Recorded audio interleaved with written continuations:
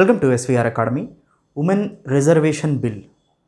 మహిళలకి parliament as well as అసెంబ్లీలో legislative assembly as well as parliament అంటే ముఖ్యంగా Lok Sabha. Lok Sabha state legislative assemblies. Lok Sabha మరియు శాసనసభల్లో మహిళలకి ముప్పై మూడు శాతం రిజర్వేషన్ని కల్పించాలి అనే బిల్లుని క్యాబినెట్ క్లియర్ చేసిందనమాట సో అందుకనే ఈ ఉమెన్ రిజర్వేషన్ బిల్ గురించి ఇప్పుడు మనం చూద్దాం. ఉమెన్ రిజర్వేషన్ బిల్ యొక్క సారాంశం ఒకటే. థర్టీ త్రీ పర్సంటేజ్ ఉమెన్ రిజర్వేషన్స్ని పార్లమెంట్లో లోక్సభలోను యాజ్ వెల్ యాజ్ స్టేట్స్లో స్టేట్ లెజిస్లేటివ్ అసెంబ్లీస్లో థర్టీ త్రీ పర్సంటేజ్. అంటే ఒక ప్రతి వంద వంద సీట్లు ఉంటే దాంట్లో థర్టీ త్రీ అంటే ముప్పై మూడు సీట్లు ఉమెన్కి రిజర్వ్ చేయాలి. ప్రతి వంద సీట్లలో ముప్పై మూడు మంది ఆ మహిళల్లే ఉండాలి. సో ఇది ఈ బిల్ యొక్క సారాంశం. అయితే ఈ బిల్ సారాంశాన్ని మనం గమనిస్తే అటు లోక్సభలో కానీ ఇటు స్టేట్ లెజిస్లేటివ్ అసెంబ్లీస్లో కానీ ఎస్సీ ఎస్టీ రిజర్వేషన్ కూడా ఉంది. ఈ ఎస్సీ ఎస్టీ రిజర్వేషన్లో కూడా వన్ థర్డ్ కేటాయిస్తారు. ఇప్పుడు ఎస్సీ రిజర్వేషన్లో వన్ థర్డ్ ఎస్టీ రిజర్వేషన్లో వన్ థర్డ్ మహిళలు ఉంటారు మళ్ళీ.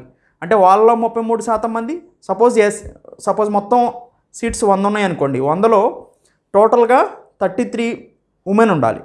ఎస్సీలో కూడా ఎస్సీ సీట్స్ ఎన్నైతే రిజర్వ్ చేశారో దాంట్లో వన్ థర్డ్ ఎస్టీస్లో కూడా వన్ థర్డ్ ఉమెన్స్ రిప్రజెంటేషన్ ఉంటుందన్నమాట. సో ఈ బిల్ ఎప్పటి నుంచో పెండింగ్లో ఉంటూ వస్తుంది. సో నైన్టీన్ సిక్స్టీస్ టైమ్స్ నుంచి కూడా ఎక్కువగా ఉమెన్ పార్టిసిపేషన్ ఉమెన్ ఎంపవర్మెంట్ జరగాలంటే ఉమెన్ రిప్రజెంటేషన్ అనేది పొలిటికల్ ఎంపవర్మెంట్లో కూడా పెరగాలి అనేది. కానీ పెండింగ్ పడుతూ ఇప్పటివరకు వచ్చి వస్తూ ఉంది.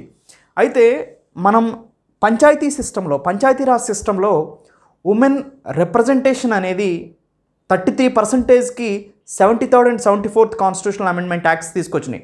డెబ్బై మూడు డెబ్బై నాలుగు రాజ్యాంగ సవరణల ద్వారా థర్టీ త్రీ పర్సెంటేజ్ రిజర్వేషన్స్ని పంచాయత్స్లో లోకల్ బాడీస్లో ఉమెన్కి రిజర్వేషన్ ప్రొవైడ్ చేయడం జరిగింది. దీంతో కొంత ఉమెన్ ఎంపవర్మెంట్ అనేది మనకు కనిపించింది. అక్కడ ఉమెన్ రిజర్వేషన్స్ అనేది అప్లిఫ్ట్ అయినాయి. అయితే ఒక ముఖ్యమైనటువంటి నెగిటివ్ ఏంటి? ఇండియన్ సిస్టంలో అంటే సపోజ్ ఒక గ్రామ గ్రామ పంచాయతీలో ఒక ప్రెసిడెంట్ ఉంటే వైస్ ప్రెసిడెంట్ ఉంటే మహిళల్ని గెలిపించిన తర్వాత వాళ్ళ హస్బెండ్ రూల్ చేయడం జరుగుతూ ఉంటుంది. ఇది రియాలిటీకి ఉమెన్ ఎంపవర్మెంట్ అనిపించుకోదనమాట రియాలిటీకి ఉమెన్ ఎంపవర్మెంట్ అంటే ఏంటంటే వాళ్ళు వాళ్ళుగా స్వయ స్వీయ నియంత్రణ కలిగి ఉండాలి. సొంతగా నిర్ణయాలు తీసుకునే స్వేచ్ఛ ఉండగలగాలి. కానీ వాళ్ళ వెనకాల సిస్టమ్ మెన్ నడుపుతూ ఫ్రంట్ వేల్ని డిస్ప్లే చేస్తే అది రియాలిటీ అనిపించుకోదనమాట ఈవెన్ ఇప్పుడు థర్టీ త్రీ పర్సెంటేజ్ రిజర్వేషన్స్ తీసుకొచ్చిన తర్వాత majority of the state legislative అసెంబ్లీస్లో కానీ మెంబర్ ఆఫ్ పార్లమెంట్ లోక్సభలో కానీ ఎక్కువ మంది మెన్నే ఉన్నారు. ఈవెన్ మనం గమనించినట్లయితే ప్రజెంట్ లోక్సభలో కూడా సో ఫోర్టీన్ టెన్ పర్సెంటేజ్ కన్నా ఎక్కువ మంది ఉమెన్ రిప్రజెంటేషన్ అనేది లేదు. ఓవరాల్గా ఇండియా మొత్తం మీద స్టేట్ లెజిస్లేచర్స్లో కూడా టెన్ టు ఫిఫ్టీన్ పర్సెంటేజ్ కన్నా మించి లేదు ప్రతి స్టేట్లో కూడా. అంటే ఫిఫ్టీన్ పర్సెంటేజ్ మించి ఏ స్టేట్ కానీ లేదా సెంట్రల్ గవర్నమెంట్లు కానీ రిప్రజెంటేషన్ లేదు ఉమెన్ రిప్రజెంటేషన్ అనేది. అంటే ఉమెన్ రిప్రజెంటేషన్ తీసుకొస్తే మనం ఇది ఒకవేళ తీసుకొచ్చినప్పుడు ఉమెన్కి సపోజ్ ఏదైనా కాన్స్టిట్యుయెన్సీ రిజర్వ్ చేశారనుకోండి ఇది ఎవరు అథారిటీ డిసైడ్ చేస్తారు? అంటే ఏ కాన్స్టిట్యుయెన్సీస్లో ఏ నియోజకవర్గాల్లో మహిళలు పోటీ చేయాలి రిజర్వేషన్ ప్రకారం అనేది పార్లమెంటే ఒక అథారిటీ ద్వారా డిసైడ్ చేస్తుంది. పార్లమెంట్కి అథారిటీ ఉంటుంది. ఈవెన్ ఒక బాడీ ద్వారా డిసైడ్ చేయగలిగే క్యాపబిలిటీస్ డీలిమిటేషన్ కమిషను అండ్ పార్లమెంట్కే అథారిటీ ఉంటుంది. ఏ కన్స్టిట్యుయెన్సీలో ఏ నియోజకవర్గంలో ఎవరు ఏ నియోజకవర్గాలు మహిళలకు రిజర్వ్ చేయబడతాయి అనేది. సో ఆ ప్రాతిపదికని డిసైడ్ చేస్తారనమాట అయితే అలా చేసినప్పుడు సపోజ్ అక్కడ ఒక డామినెంట్ లీడర్ ఉన్నాడు. ఆ డామినెంట్ లీడర్ ఉన్నప్పుడు ఆటోమేటిక్గా అది ఉమెన్ రిజర్వేషన్గా మారింది. అలాంటప్పుడు అతని యొక్క బంధువర్గాలకే ఇవ్వటం జరుగుతుందనమాట ఆమెను ముందు డిస్ప్లే చేసి వెనక వీళ్ళుంటారు. సో ఇది ఒక నెగిటివ్ పాయింట్ సో మొత్తం పెత్తనం మొత్తం ఇతని దగ్గరే ఉంటుంది కానీ చూడటానికి ఉమెన్ ఎంపవర్మెంట్ కానీ రియాలిటీలో ఉమెన్ ఎంపవర్మెంట్ ఉండదన్నమాట. సో ఇవన్నీ ఇది ఒక డిసడ్వాంటేజ్ మెయిన్ డిసడ్వాంటేజ్ దాంతో పాటుగా సో వీళ్ళకి ఇన్సెక్యూరిటీ ఫీలింగ్ ఉంటుంది. ఎందుకంటే ఇప్పుడు ఆల్రెడీ ప్రామినెంట్ లీడర్ స్థాయికి వెళ్ళగలిగారు వీళ్ళు. ఫస్ట్ నుంచి ఎన్నో రకాలుగా అది కరప్షన్ చేసో లేకపోతే ఎన్నో రకాలుగా ఏదో చేసో ఎమ్మెల్యే నుంచి ఎంపీ స్థాయికి లేకపోతే మినిస్టర్ స్థాయికి వచ్చారు. ఇప్పుడు వాళ్ళు ఎప్పటి నుంచో ప్రాతినిధ్యం వహిస్తున్నటువంటి సీట్ అనేది ఉమెన్ రిజర్వేషన్ అయితే వీళ్ళు ఎలా రియాక్ట్ అవుతారు అండ్ వీళ్ళ యొక్క చర్యలు ఏ విధంగా ఉంటాయి కాన్సిక్వెన్సెస్ అనేవి కూడా సో ఒక నెగిటివ్ ప్రభావం అయితే చూపిస్తుంది అనమాట అయితే ఉమెన్ రిజర్వేషన్ బిల్ గురించి మనం ప్రాథమికంగా ఇలా చర్చించుకోవచ్చు. అయితే కొన్ని ఇంపార్టెంట్ ఫ్యాక్చువల్ ఇన్ఫర్మేషన్ చూస్తే మనం one nought eighth constitutional amendment బిల్గా రాజ్యాంగ సవరణ బిల్లు నూట ఎనిమిదోగా దీన్ని తీసుకురావడం జరిగిందండి. సో ఇదేం చెప్తుంది? One nought eighth constitution amendment bill అనేది రెండు వేల ఎనిమిదిలో తీసుకొస్తే రెండు వేల పదిలో నైన్త్ మార్చిన Rajya Sabha one nought eighth constitutional amendment బిల్ని pass చేసింది. రాజ్యసభ క్లియర్ చేసిందండి. లోక్సభ ముందు ఇది పెండింగ్లో ఉంది ఎప్పటి నుంచో టూ థౌజండ్ టెన్ నుంచి కూడా. So two thousand ten ninth మార్చిన రాజ్యసభ పాస్ చేసింది కానీ లోక్సభలో ఉంది. కాన్స్టిట్యూషన్ అమెండ్మెంట్ చేయాల్సిన అవసరం ఏంటంటే రాజ్యాంగ సవరణ అనేది దీంట్లో ఇన్వాల్వ్ అయి ఉంది కాబట్టి. సో కాన్స్టిట్యూషనల్ అమెండ్మెంట్ బిల్గా దీన్ని తీసుకురావడం జరిగింది.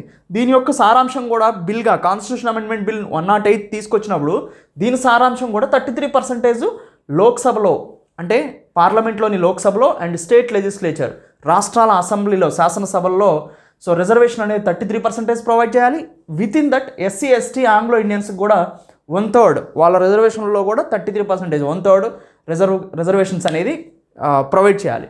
తర్వాత అసలు ఈ ఉమెన్కి రిజర్వ్ అయినటువంటి ఎంపీ సీట్ కానీ ఎంపీ కాన్స్టిట్యుయెన్సీ కానీ లేదా స్టేట్ లెజిస్లేటివ్ అసెంబ్లీ డిసైడ్ చేసేటువంటి స్టేట్ అసెంబ్లీలో ఎమ్మెల్యే కాన్స్టిట్యుయెన్సీ కానీ ఎవరు డిసైడ్ చేస్తారంటే పార్లమెంటే డిసైడ్ చేస్తుంది.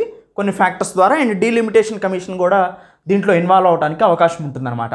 అయితే ఫస్ట్ టైం అసలు ఈ భావన మనం గమనిస్తే constitutional amendment bill one nought eight eight రాకముందు Lok Sabha and state legislative అసెంబ్లీస్లో women reservation thirty three percentage provide చేయాలని eighty first constitution amendment bill కూడా తీసుకురావడం జరిగిందండి నైన్టీన్ సిక్స్టీ సిక్స్లో.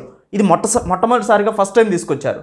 కానీ జాయింట్ పార్లమెంట్ కమిటీకి రిజర్వ్ చేయబడింది ఈ బిల్ అనేది.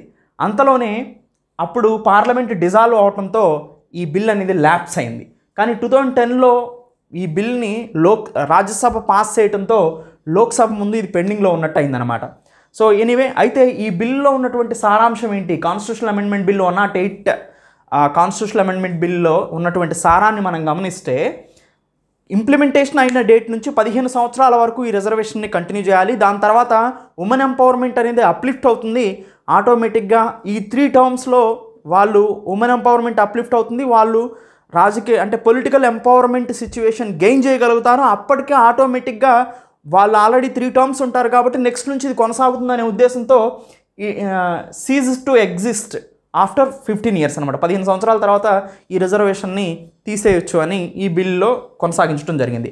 అయితే అసలు ఉమెన్ రిజర్వేషన్ని తీసుకురావడానికి అసలు నీడ్ ఏంటి? నీడ్ ఆఫ్ ది అవర్ ఏంటి? అంటే global gender gap report two thousand twenty టూని మనం గమనించినట్లయితే ఇండియా పొలిటికల్ ఎంపవర్మెంట్లో వన్ ఫార్టీ సిక్స్ కంట్రీస్లో ఫార్టీ ఎయిత్ పొజిషన్లో ఉందండి. With a score of zero point two six seven అంటే పొలిటికల్ ఉమెన్ ఎంపవర్మెంట్ అంటే రాజ్యసభలో కానీ లోక్సభలో కానీ ముఖ్యంగా లోక్సభలో కానీ అండ్ స్టేట్ లెజిస్లేటివ్ అసెంబ్లీ శాసనసభలో కానీ లోక్సభలో కానీ ఈ రెండు సభల్లోనూ స్టేట్స్లో అయితే శాసనసభ అండ్ సెంట్రల్ గవర్నమెంట్లో అయితే లోక్సభ. వీటిలో ఉమెన్ రిప్రజెంటేషన్ అనేది ఇండియాలో చాలా తక్కువగా ఉంది అనేది ఈ పొలిటికల్ ఎంపవర్మెంట్ మనకి చూ చూయిస్తుంది అనమాట సో అందుకనే మనం ఫార్టీ ఎయిత్ పొజిషన్లో ఉన్నాం. With a score of zero point two six seven Ireland కానీ రువాండా కానీ ఈవెన్ బంగ్లాదేశ్లో కూడా బంగ్లాదేశ్ నైన్త్ పొజిషన్లో ఉంది. Zero point five four six స్కోర్తో. అంటే వన్ వన్గా రిప్రజెంట్ చేస్తారు హైయెస్ట్ స్కోర్ని. జీరో పాయింట్ ఫైవ్ ఫోర్ సిక్స్తో బంగ్లాదేశ్ కూడా. మన పక్కలే ఉన్నటువంటి శ్రీలంక బంగ్లాదేశ్ నేపాల్ ఈవెన్ పాకిస్తాన్ రిప్రజెంటేషన్ కూడా లోక్సభలో కానీ స్టేట్ అసెంబ్లీస్లో కానీ ఉమెన్ రిప్రజెంటేషన్ ఎక్కువగా ఉండటం ఇండియా లాంటి highly democracy and ancient re ancient trees cultural tree కనుక మనం గమనించినట్లయితే మెటర్నిటీ సిస్టమ్ కూడా ఇక్కడ ప్రివేల్ అయింది. సోషియో కల్చరల్ హిస్టరీలో మనకి ఈవెన్ హిందువుల్లో హిందూ మాతృమూర్తుల్ని కొలవటం కానీ మాతృస్వామ్య కుటుంబాలు.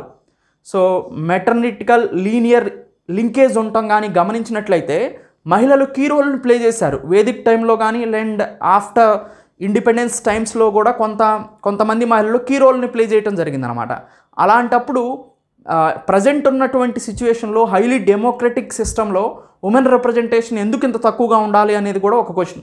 దాన్ని ఇంప్రూవ్ చేయాలనేది కూడా మేజర్గా మనం భావిస్తుంది అనమాట అయితే బ్యాక్గ్రౌండ్ మనం గమనిస్తే నేషనల్ పర్స్పెక్టివ్ ప్లాన్ ఫర్ ఉమెన్ని నైన్టీన్ ఎయిటీ ఎయిట్లో తీసుకొచ్చారండి. National perspective plan for women. So ఇది రిజర్వేషన్స్ని పంచాయత్స్ నుంచి పార్లమెంట్ వరకు కూడా మహిళలకి సమాన ప్రాతిపదికలు కల్పించాలని చెప్పింది. మహిళలకి ఈక్వల్ రిప్రజెంటేషన్ ఉండాలని చెప్పింది అనమాట సో దాంతో seventy third and seventy fourth constitutional amendment act ఉమెన్కి అండ్ ఎస్సీలో ఎస్సీ ఉమెన్కి ఎస్టీ ఉమెన్కి so seventy third and seventy fourth constitutional amendment act one third రిజర్వేషన్స్ని local బాడీస్లో సో ఇంట్రడ్యూస్ చేయడం జరిగింది. డెబ్బై మూడు డెబ్బై నాలుగు రాజ్యాంగ సవరణ ద్వారా పంచాయతీస్లో అండ్ మున్సిపాలిటీస్లో ఒకటి బై మూడు వంతు అంటే ముప్పై మూడు శాతం మహిళలకి రిజర్వేషన్స్ని కల్పించింది. అయితే కొన్ని రాష్ట్రాలు అయితే ఫిఫ్టీ పర్సెంటేజ్ మహిళలకు రిజర్వ్ చేసినాయి ఆంధ్రప్రదేశ్ తెలంగాణ బీహార్ ఛత్తీస్గఢ్ జార్ఖండ్ కేరళ లాంటి రాష్ట్రాలు సో ఈ ఆరు రాష్ట్రాలు ఫిఫ్టీ పర్సెంటేజ్ లోకల్ బాడీ ఎలక్షన్స్లో ఉమెన్ రిప్రజెంటేషన్ ప్రొవైడ్ చేయడం జరిగింది. సో దీంతో ఉమెన్ అప్లిఫ్ట్మెంట్ అనేది జరిగింది. కానీ ఒకటి మాత్రం గుర్తుంచుకోవాల్సింది ఏంటంటే ఉమెన్ ఫేస్ని ముందుంచి వెనక వాళ్ళ హస్బెండ్ కానీ లేదా అదర్ రిలేటివ్స్ కానీ సో మొత్తం ఎంపవర్మెంట్ని సో గెయిన్ చేయటానికి గెయిన్ చేయటం వల్ల ఉమెన్ ఎంపవర్మెంట్ అనేది రియలిస్టిక్ టర్మ్స్లో పోతూ ఉంది. అది మనం గమనించాల్సినటువంటి ఇంపార్టెంట్ పాయింట్ అనమాట నెక్స్ట్ సో ఇంకొక అంటే బిల్కి ఎగనెస్ట్గా కొన్ని పాయింట్స్ ఉన్నాయండి. ఒకటి నేను చెప్పింది important point. Women real empowerment అనేది కనిపించాలి కానీ వెనక నుండి నడిపించే వాళ్ళు తగ్గాలి వాళ్ళకు వాళ్ళు ఈ ఉమెన్ రిప్రజెంటేషన్తో పాటుగా violences against women sex ratio ఉమెన్లో తక్కువగా ఉంది అండ్ సోషియో కల్చరల్ లీనేజ్కి సంబంధించిన ఇష్యూస్ కానీ. సో ఉమెన్ రిప్రజెంటేషన్ అనేది సొసైటీలో ఉన్న ఉమెన్కి సపోజ్ చూస్తే మనం వర్క్ ఫోర్స్లో కూడా ఉమెన్ రిప్రజెంటేషన్ బాగా తక్కువగా ఉంటుందన్నమాట. అంటే ఎకనామికల్ పార్టిసిపేషన్ తక్కువగా ఉంటుంది. ఈవెన్ ఇంట్లో చేసే పనిని మనం ఎకనామికల్ యాక్టివిటీగా కన్సిడర్ చేయం దాన్ని. సో దీనివల్ల వాళ్ళు వర్క్ చేస్తున్నా కానీ వెనకబడినట్టు చూస్తూ ఉంటాం. సో ఇవన్నీ కూడా కన్సిడర్ చేయాల్సిన అవసరం ఉందన్నమాట. సో దానికి ఈ ఈ ఉమెన్ రిప్రజెంటేషన్ బిల్ని మనం గమనించినట్లయితే దీంట్లో ఉన్న డ్రాబ్యాక్స్ అవి కొన్ని ఉన్నాయి. సో అంటే ఇప్పుడు మనం చూడండి బీసీ రిప్రజెంటేషన్ కూడా ఒక ఇంపార్టెంట్ పాయింట్. సో ఇప్పుడు ఎస్సీస్కి ఎస్టీస్కి మళ్ళీ ఉమెన్ రిజర్వేషన్స్ అనేది ఇండ్యూస్ చేస్తారు. వన్ వన్ థర్డ్ అనేది ఎస్సీస్లో రిజర్వ్ అయి ఉంటుంది ఎస్టీస్లో కూడా రిజర్వ్ అయి ఉంటుంది. అయితే ఇక్కడ లాస్ అయ్యేది ఎవరు అంటే జనరల్ కేటగిరీ వాళ్ళు ఆటోమేటిక్గా వాళ్ళు స్ట్రెంత్గా ఉంటారు పొలిటికల్గా అండ్ ఎకనామికల్గా. కానీ బీసీస్లో సీట్స్ నష్టపోవడానికి అవకాశం ఉంటుంది. సో అదొక ఇంపార్టెంట్ పాయింట్స్ బీసీ రిప్రజెంటేషన్కి కొంచెం ప్రాబ్లంగా మారడానికి అవకాశం ఉంటుంది. అయితే ఉమెన్ అనేది కాస్ట్ గ్రూప్ లాగా ఒక హోమోజీనియస్ కమ్యూనిటీ కాదు. సో అది కూడా గమనించాలి మనం. తర్వాత రిజర్వేషన్స్ అనేది మెరిట్ ప్రకారం కాకోకుండా రిజర్వేషన్స్ని ప్రొవైడ్ చేయటం వల్ల ఉమెన్కి మెరిట్ ప్రకారం కాకుండా టోటల్ సిస్టాన్ని ఇది డిస్ట్రాయ్ చేసే అవకాశం కూడా ఉంటుంది. సో ఇందాక మనం మాట్లాడుకున్నప్పుడు వీళ్ళ వెనకుండి నడిపించే వాళ్ళు ఎక్కువయ్యి వీళ్ళ ముందు ఒక ఉమెన్ని రిప్రజెంట్ చేస్తే అది మెరిట్ని బేస్ చేసుకోకుండా సిస్టాన్ని డిస్ట్రాయ్ చేసే అవకాశం ఉంటుంది. దీనివల్ల ఇంకా మహిళని మహిళ పేరు మీద అరాచకాలు జరిగితే వెనక జరిగినవన్నీ చేసినవన్నీ వేరు వచ్చే బ్యాడ్ నేమ్ మాత్రం మహిళలకు వస్తూ ఉంటుందన్నమాట. సో ఇది కూడా ఒకటి ఇంపార్టెంట్ పాయింట్. అయితే బిల్కి ఒక పాజిటివ్ రెస్పాన్స్ ఏంటంటే ఉమెన్ ఎంపవర్మెంట్ వస్తుంది మహిళా సాధికారత వస్తుంది. ఎందుకంటే ముందు రిజర్వేషన్స్ని ప్రొవైడ్ చేస్తే ఆటోమేటిక్గా కొంతకాలానికి ఇవి సెట్ అవటానికి అవకాశం ఉంటుంది. ఫస్ట్ మనం అనుకున్నట్లు ఉమెన్ ఫేస్ వెనకుండి మెన్ ఫేస్ ముందు ఉమెన్ ఫేస్ ముందుండి మెన్ ఫేస్ వెనకున్నప్పుడు కొంతకాలానికి ఏమలో కూడా మార్పు వచ్చి సో కొంతకాలానికి సిస్టమ్ కూడా మారటానికి అవకాశం ఉంటుంది. ఏమొక్కటే డెసిషన్స్ మేకింగ్ పవర్కి రావచ్చు. సో ఇది ఎలా కుదిరింది? వన్స్ రిజర్వేషన్స్ని ప్రొవైడ్ చేస్తేనే సో కొన్న కొన్న కొన్ని సంవత్సరాల తర్వాతకైనా కానీ ఏమకి ఆ ఎంపవర్మెంట్ స్టేజ్కి రాలేకపోయింది.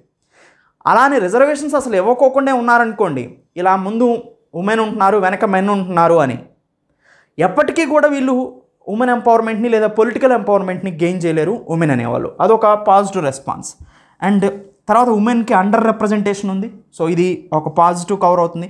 క్రైమ్స్ అగెనెస్ట్ ఉమెన్ కానీ తర్వాత ముఖ్యంగా ఉమెన్ వర్క్ ఫోర్స్లో పార్టిసిపేషన్ రేషియో అనేది చాలా తక్కువగా ఉంది.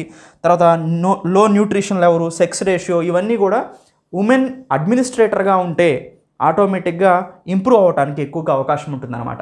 ఇండిపెండెన్స్ టైంలో కూడా మనం చూస్తే prior to independence women exploitation కానీ మార్జినలైజ్డ్ కానీ మనం చూసాం. స్వదేశీ మూమెంట్లో కూడా ఉమెన్ పార్టిసిపేషన్ ఉంది కానీ చాలా తక్కువ పార్టిసిపేషన్ ఉంది. ఈవెన్ డెమో అలాంటి ఆ టయాల్లోనే అప్పుడు పార్టిసిపేషన్ ఉన్నప్పుడు కంప్లీట్ డెమోక్రసీ అయినటువంటి ఈ టయాల్లో ఇంత తక్కువ ఉండటం అనేది మనం పరిగణించాల్సినటువంటి అంశం అనమాట నైన్టీన్ ఫార్టీ సెవెన్ తర్వాత కనుక మనం గమనించినట్లయితే టోటల్గా నేపాల్ పాకిస్తాన్ శ్రీలంక బంగ్లాదేశ్ కూడా మనకన్నా ఎక్కువ రిప్రజెంట్ చేస్తున్నాయి. టోటల్గా ఇండియా వైజ్ లోక్సభ కానీ స్టేట్ అసెంబ్లీస్ కానీ చూస్తే ఇండియాలో only fourteen point four percentage ఉమెనే represent చేస్తున్నారు. లోక్సభలో కానీ స్టేట్ అసెంబ్లీస్లో కానీ అది నేపాల్ పాకిస్తాన్ శ్రీలంక బంగ్లాదేశ్ కన్నా కూడా ఎక్కువగా ఉంది. తర్వాత election commission of India recent రిపోర్ట్ని బేస్ చేసుకుని పార్లమెంట్లో టెన్ పాయింట్ ఫైవ్ పర్సెంటేజ్ మాత్రమే ఉమెన్ రిప్రజెంటేషన్ ఉంది. అండ్ త్రూఅవుట్ కంట్రీలో ఎమ్మెల్యేలలో ఉమెన్ రిప్రజెంటేషన్ కూడా ప్రతి వంద మందిలో తొమ్మిది మంది మాత్రమే సో రిప్రజెంట్ చేస్తున్నారు. లాస్ట్ సెవెంటీ ఫైవ్ ఇయర్స్ని మనం గమనిస్తే టోటల్ ఇండియాలో ఉమెన్ పొలిటికల్ ఎంపవర్మెంట్ని బేస్ చేసుకుంటే లోక్సభలో కానీ స్టేట్ అసెంబ్లీస్లో కానీ పది శాతం కన్నా ఎప్పుడూ ఎక్కువగా మించలేదు యావరేజ్ పరంగా మనం గమనించినట్లయితే. సో అంటే ఎప్పుడు కూడా టెన్ పర్సెంటేజ్ లోపే ఉమెన్ రిప్రజెంటేషన్ ఉంది లోక్సభ అండ్ స్టేట్ అసెంబ్లీస్లో లాస్ట్ సెవెంటీ ఫైవ్ ఇయర్స్లో సో కంక్లూజన్ మనం గమనించినట్లయితే సో సీట్స్ రిజర్వేషన్స్ని అంటే సీట్స్ని రిజర్వ్ చేయటం వల్ల పొలిటికల్ ఎంపవర్మెంట్కి ఉమెన్ని ఉమెన్ స్టేచర్ని ఇంక్రీజ్ చేయడానికి అవకాశం ఉంటుంది. తర్వాత ఉమెన్ యొక్క అవేర్నెస్ అండ్ ఎడ్యుకేషన్ ఇంక్రీజ్ అవడానికి అవకాశం ఉంటుంది. ఎందుకంటే ప్రజెంట్ ఉమెన్ రిజర్వేషన్ బిల్లు వల్ల వాళ్ళకి అవేర్నెస్ వస్తుంది. అవేర్నెస్ వస్తే మేము కూడా పొలిటికల్ ఎంపవర్మెంట్ గెయిన్ చేయాలని వస్తుంది. రాను రాను ఇది హయ్యర్ ఎడ్యుకేషన్కి కూడా దారి తీయడానికి అవకాశం ఉంటుంది. పొలిటికల్ లిటరసీకి దారి తీయడానికి అవకాశం ఉంటుంది అనమాట జెండర్ బేస్డ్ వైలెన్సెస్ ఉమెన్ కాన్ ఉమెన్ కార్నర్డ్ వైలెన్సెస్ ఏవైతే ఉన్నాయో వాటిని తగ్గించడానికి వీళ్ళు కృషి చేయడానికి అవకాశం ఉంటుంది. సో సొసైటీలో ఉమెన్ ఎంపవర్మెంట్తో పాటుగా వైలెన్సెస్ అగెనిస్ట్ ఉమెన్ కూడా డిక్రీజ్ అవడానికి డ్రాస్టిక్గా అవకాశం ఉండటానికి ఎక్కువ ఛాన్సెస్ ఉన్నాయి. సో ఎలక్ట్రల్ ప్రాసెస్లో రీఫార్మ్స్ కూడా మనం ఫ్యూచర్లో గమనించవచ్చు. సో ఇవన్నీ కూడా బిల్కి సంబంధించినటువంటి పాజిటివ్ అండ్ నెగిటివ్ అంశాలు అసలు బిల్ యొక్క ఆరిజిన్ ఏంటి? సో పూర్తి డీటెయిల్స్గా మనం ఈ బిల్ని చూడటం జరిగిందనమాట anyway thank you Have a nice day.